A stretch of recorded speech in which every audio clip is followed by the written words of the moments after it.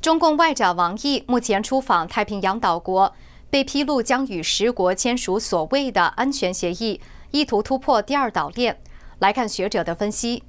中国其实这个战略野心非常非常的明确了，大家不要再装聋作哑了。中共外长王毅二十六日出访太平洋，被揭露将推动十个岛国安全协议。学者郭玉仁警告，中共训练远程作战投射能力，“一带一路”拉出一条往南太平洋，图谋突破岛链，自由阵营必须积极应对。解放军要控制，要成功的突破一岛链，他必须要掌握南海。是，这就是为什么中共从二零一五年开始，呃，吹沙填岛。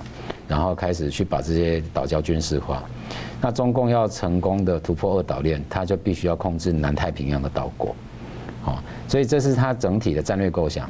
拜登亚洲行焦点之一，巩固美韩美日同盟。郭玉仁认为，美韩日走向三方同盟不容易，但美国会采取任务导向演训，拉拢日本、韩国合作。韩国建军模式偏内向型，偏重陆军遏制北韩威胁，但未来可能在区域承担更多责任，深化与美国更多盟友伙伴合作，包括台湾。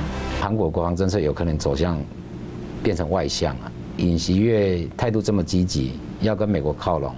然后再加上美国是非常有意的要把他这些盟国把它串联在一起，我觉得可能性还不低啊。韩国的军舰可能会到南海，啊，甚至于这个在菲律宾海可能会跟美国还有日本联演，或者是美国其他的盟国，包含澳洲、包含英国一起联演。我们要看的就是将来他们到底会不会实体化，会不会同盟化，会不会军事化，跟会不会扩大化。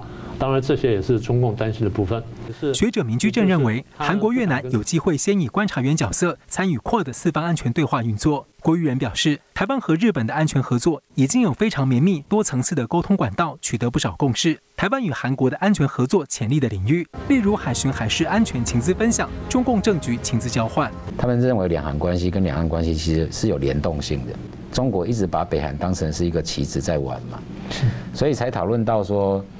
呃，台韩之间的确是应该在呃往更高层，在安全议题上面有更多的对话或情报交换的管道了。